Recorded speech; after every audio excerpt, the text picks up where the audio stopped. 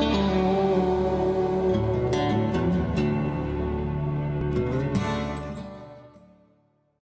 buenas a todos queridos espartanos, bienvenidos a un nuevo gameplay de fsgamer.com y hoy toca pasarlo terroríficamente divertido con este Layers of Fear de Bluebird Team. Aquí os traigo los primeros minutos del juego, pero bueno, en la web también tenéis, en fsgamer.com, también tenéis una extensa review hablándoos más en profundidad del, título. Bueno, lo primero que tengo que contaros es que eh, a mí los juegos de terror eh, me crean cierta animaversión, pero a la vez me atraen muchísimo decir, tengo y he jugado a, varios, sobre todo títulos indie de, estos últimos años. Eh, muchos tendréis en mente, por ejemplo, títulos como Outlast, él, es uno de ellos, también el Soma, este propio Layers of Fear y bueno, pues eh, algún otro que también ha pasado por, por mis manos y cada vez más eh, es un género en el que me encuentro más a gusto que es una manera sencilla y normal de decir que no me da un ataque al corazón cada vez que, juego. Consigo evitarlo y cada vez admito que me atrae más como, como si fuera una, una puñetera droga. Bueno, este Layers of Fear que tenéis en pantalla es un título eh, que a mí realmente me ha, eh, me ha llegado, me ha eh, cautivado, esa es, la, esa es la palabra. El título de Bluebird Team se ha comparado mucho, solo tenéis que entrar en, en, Google y buscar un poco con PT, y es obvio que bebe del, del, mismo, pero sería muy injusto tratar al título como una simple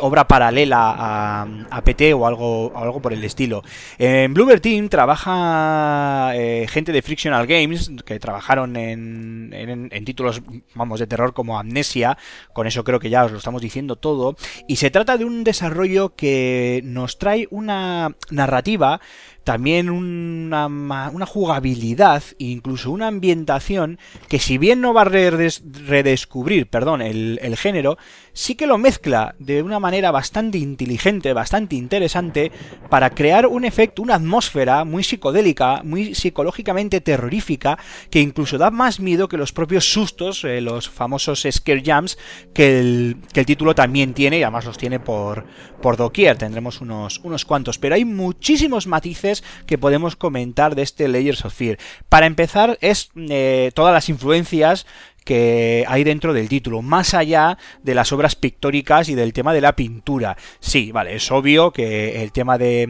la pintura es eh, prácticamente su base, en ese sentido eh, la obra del retrato, el retrato de Dorian Gray de Oscar Wilde es probablemente la, columna vertebral del mismo, pero tranquilos, no os estoy haciendo ningún spoiler, ni la historia se basa eh, directamente en, el, el, retrato de Dorian Gray, tenéis que jugarlo para entender esta referencia que os estoy dando, pero hay muchísimos más. Luego, obviamente, todo el juego es un tremendo escaparate técnico, es una pasada el... Eh, bueno, pues todo el el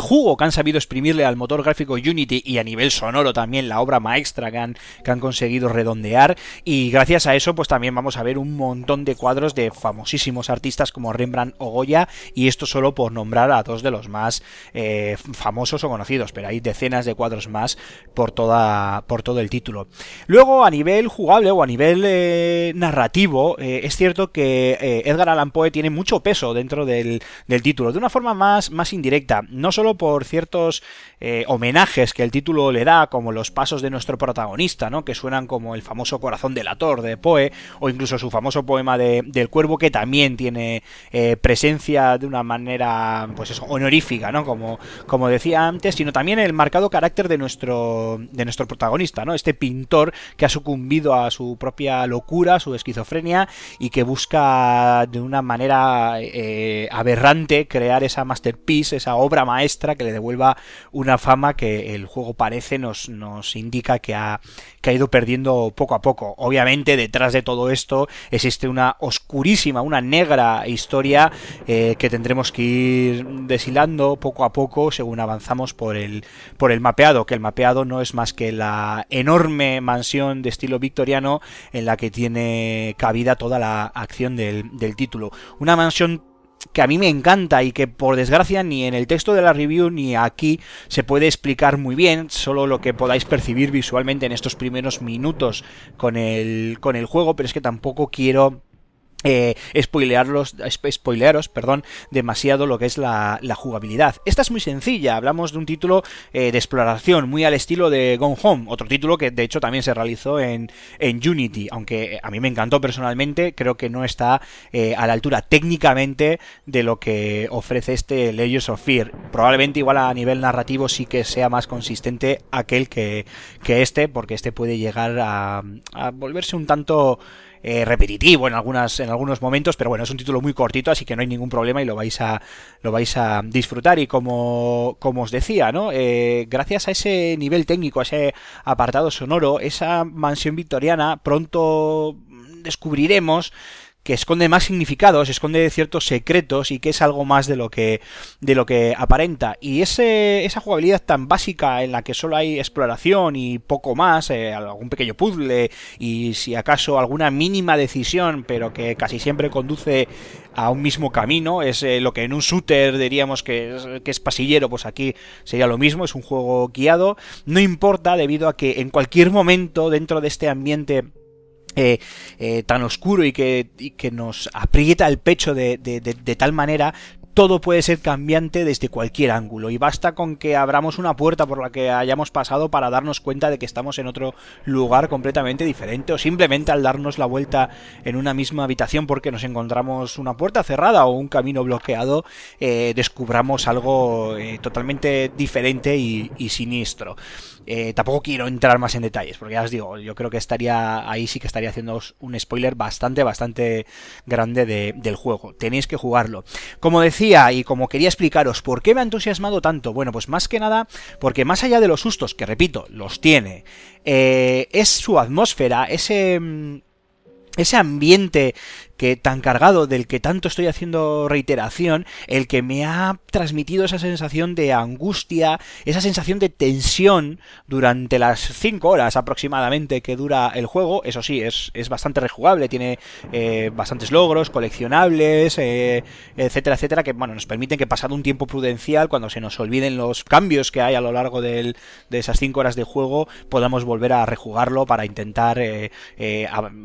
descubrir más cosas y avanzar más en la, en la, en la historia, ¿no? Por eh, eh, diferentes cartas, textos, eh, dibujos, etcétera, etcétera, etcétera, que podemos encontrar y, y demás, ¿no? Y lo que os decía, ¿no? En, definitiva, esa ambientación me ha transmitido esa sensación de, de, angustia y de terror que me suelen transmitir cierto tipo de, de películas y que me gusta más que el propio susto en sí, ¿no? Un poco más lo que es el terror psicológico y menos Scream, para que todos me entendáis de una manera así sencilla. Luego también, más allá de cualquier referencia literal, o cualquier referencia pictórica que las hay a decenas por todo el título, eh, también tenemos eh, ciertos toques cinéfilos, ¿no? Eh, yo veo algunos detalles del cazador de sueños, eh, más que de la obra de Stephen King, lo que es la obra literaria, más de la película de, Lawrence Kasdan. Eh, cuando avancéis en el juego es probable que entendáis lo que os quiero decir, tampoco os lo quiero eh, chafar yo con un spoiler, pero otros títulos míticos del cine de terror como House of Haunted Hill o incluso el J-Horror, ¿no? El,